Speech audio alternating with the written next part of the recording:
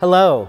Recently, we communicated how St. Malachy purchased the 1962 Reuter organ Opus 1368 from Northminster Presbyterian Church in Broad Ripple in 2019.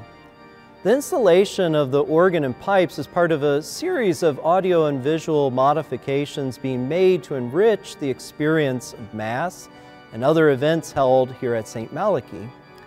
Already we have purchased the new audio system and speakers and we also acquired new video camera equipment for live streaming and other video projects as well as the software and accompanying equipment.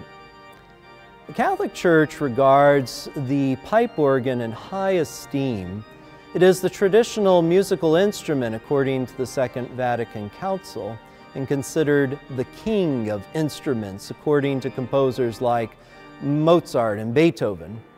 In many ways, the pipes, which make different sounds when wind blows through them, mimic human voices, like from the congregation that come together in harmony. Pope Benedict XVI said that in the organ there is an image of our community in the church at prayer. Pope St. John the 23rd said that the sound of the organ gave is the prelude to the renewal of Christian life expected after the Second Vatican Council.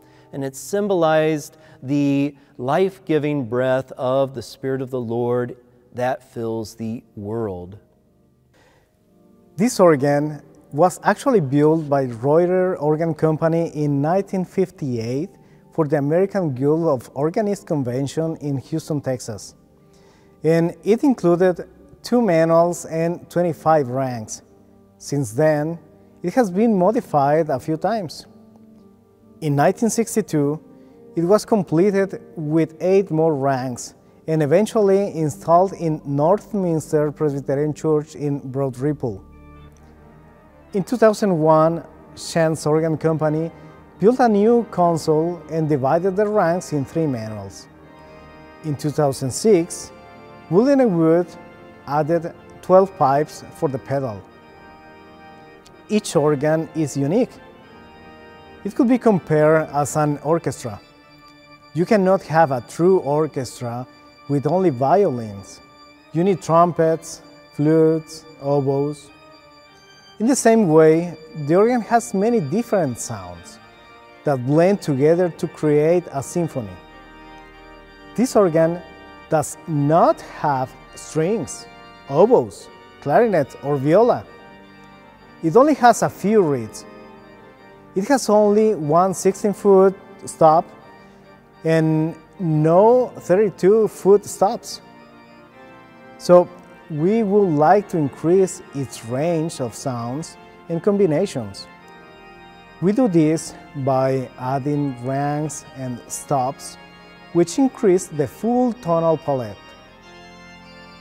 In order to save expenses, we have decided to add digital stops along with some ranks of pipes.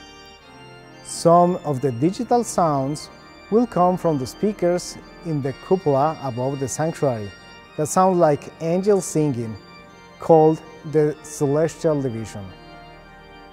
Any of these digital sounds can be changed to pipes later.